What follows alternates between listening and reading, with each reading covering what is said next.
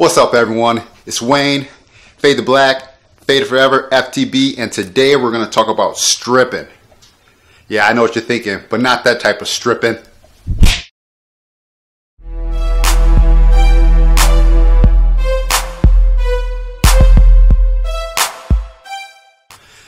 Alright, so when you're talking about stripping windows, there's kind of a lot of variables. Um, number one, how long has that film been on that glass? You know, um, if you're the original owner of the vehicle and you bought it with the tint on it, you don't know how long it's been on there. Um, number two, how good the film is. You know, generally they say if it's a cheaper film, when you strip the film off the window, the glue might stay. You know, stay on the on the glass. And then if you got the glue that stays on the glass, you're gonna be scraping with a razor blade. You're gonna be having more time invested. You know, typically people ask, what do I use? What type of solution? Typically, I just like to use a steamer. I'll show you in a little bit what type of steamer that I use. Shout out to my buddy Jesse at Highlight Motorsports. I went and helped him out one day and he had this little Wagner steamer thing work like a charm. So then after that, I'm like, dude, I gotta get one of these. Ordered up right away, hooked it up. I've been loving that thing ever since. Way a lot better than my older steamer. But people ask me, I'll say, get a steamer. If you have a steamer, that's the best way to take the film off. So one of the things that's going to happen, like I said, generally if you have a cheaper film or maybe the film has been down there for a longer time, you're gonna have to get the film off, which film comes in layers. There's layers of film. So um, if it's like I said, generally if it's a cheaper film, you're gonna be stripping the film off. The glue's gonna be on there. Then you have to go back with solution and a razor blade and scrape all the film off, all the glue off. And then typically you don't want to leave any specks because then if I put more film on your window, um, you might have little specks in, in inside of your film installation, and then it's like that doesn't look good. So stripping window film and retinting is kind of a major pain, but you know it is what it is. We got to do it. Um, one of the things I was going to say too, um, when you steam the film off, you want to get the film hot. So that's why you use a steamer. Generally, just ripping the film off, you're going to rip off layers. You're going to leave glue behind. It's going to be more of a major pain than than it was to de- than it is to deal with. So simply number one, you want to steam that film off. Some people just don't want to deal with it. They bring it to us. Now that's another thing. Some people say, they're going to pay by hourly rate. Some people say they're going to strip by windows, but the thing is, you never know what you're going to be into until you start stripping it. You always hope that the film is going to come off, heat it up, and it just comes right off, but that's generally not the case. So that's why it's hard to quote how much am I going to charge you for stripping the window? Generally, I've tried to help people out and I said, I'll just charge you a certain price per window. Generally, it's been a little bit more for a back glass. It's a bigger window and a little bit cheaper for the side window. But some, but then that leads me into a spot because if I have to sit and do your glass and I told you $20 for a window and I got to sit here and scrape, scrape, scrape for 40 minutes to clean your window, then that pretty much leaves me out. You know what I mean? Um, but typically that's what I've been doing. I've been generally just doing a charge per window and hoping for the best. But I did have a customer that bought a car from down south. They had a back glass, and the back glass you can't scrape with the windows because you got defroster lines. You want to keep the defroster lines intact.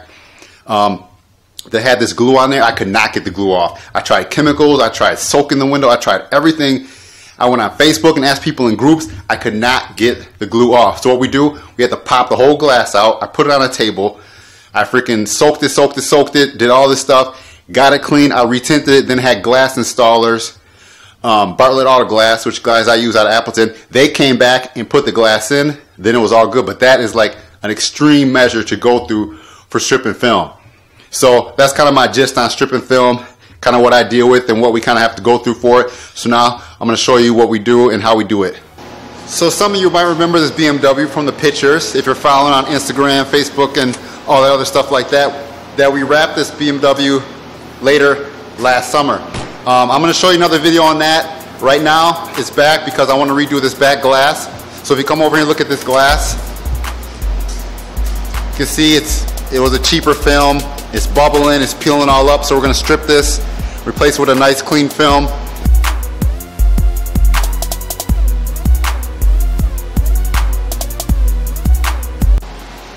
So far, thankfully, thankfully, it looks like all the glue is coming off with the film. So this might not be that bad of a back glass removal.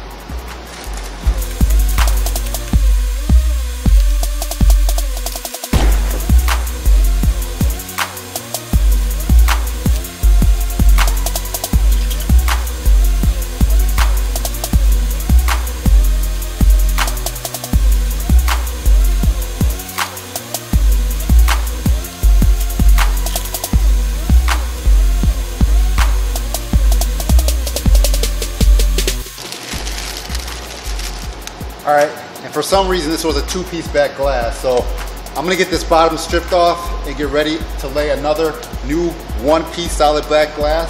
So once I get this done, I'll get back at you.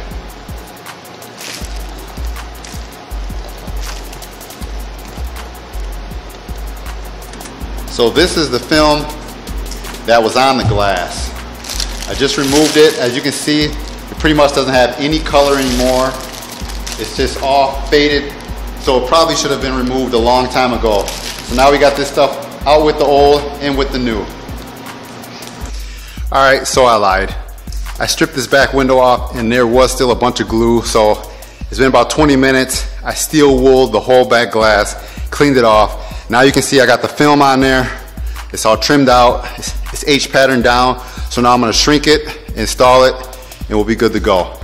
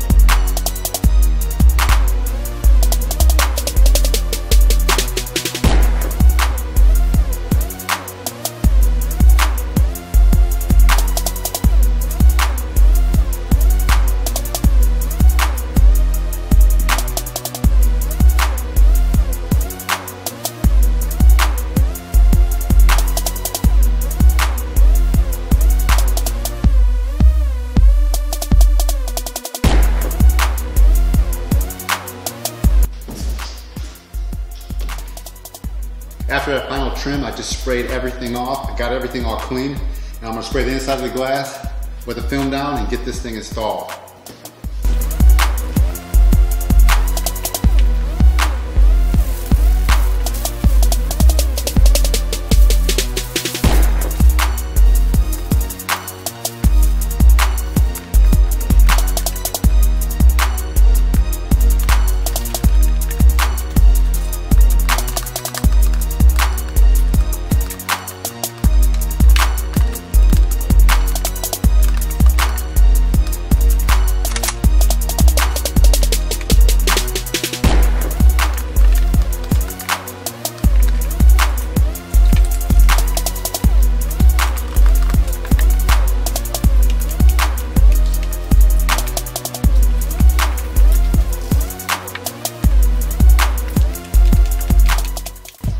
All right, it was a little bit of pain in the butt, but you know, it is what it is and we get it done.